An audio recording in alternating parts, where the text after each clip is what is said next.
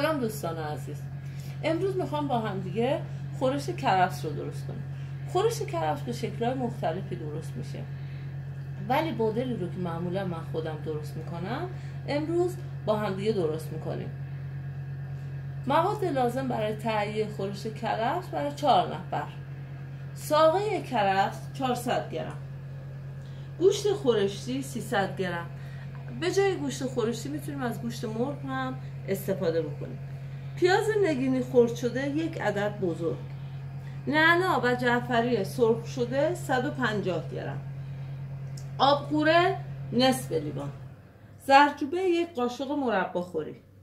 نمک و فلفل به میزان لازم. آب به اندازه لازم روغن به میزان لازم.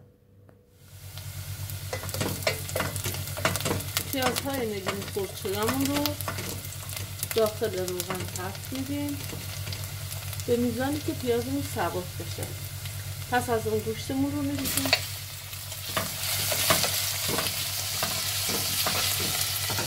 گوشتمون رو هفتش دقیقه تفت میدیم. بعد از اینکه رنگ گوشتمون قهوه‌ای شد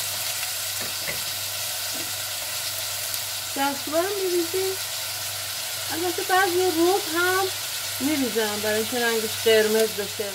ولی من اینجا از روب استفاده نمی کنم می‌خوام رنگ خورشم سبز بشه.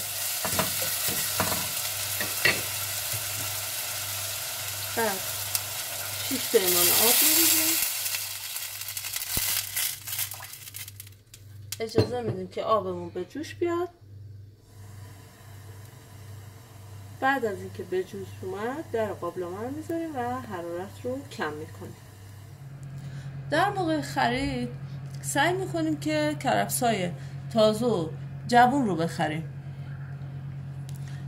بعد موقع خورد کردن ابتدا باید ما نخهای این کرفسا رو بگیریم به این شکل. نخها رو خیلی راحت ازش جدا می‌کنیم. که هم تازه تر بشه خورد همین که بهتر بشه خورد همین که قشنگ تر باشه توی خورش. می‌تونیم به های مختلف اینو خورد. می‌تونیم به صورت قریب خورد کنیم به اندازه بند انگشت یا نه به همین شکل می‌تونیم خوردش بکنیم پس خورد شدن رو با روغن تفت میدیم شما می‌تونید کرفتتون رو آب کنید یا بخار کنید. من برگ کرفتم رو هم. باها. تخت میدم. البته برگای جوونش بود. شما می‌تونید با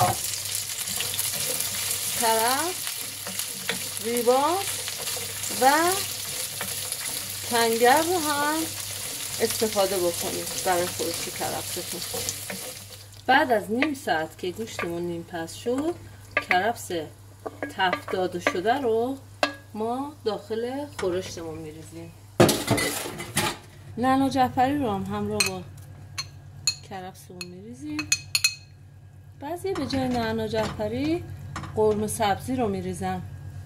یا نیمی نعنا جعفری نیمی قرمه سبزی. ولی من معمولا از نعنا جعفری استفاده می‌کنم. بعد از اون فلفلمون رو میریزیم.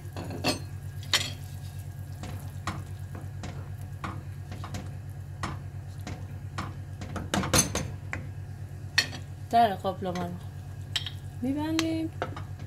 اجازه میدیم که بپز ده دقیقه آخر پختمون.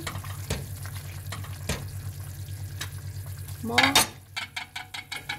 آبپوره آبپوره رو بهش اضافه می‌کنیم. می‌تونیم به جای آبپوره از لیموی تازه یا آب لیمو استفاده کنیم. بعضی هم لیمو امانی شده نمکش رو هم میریزیم.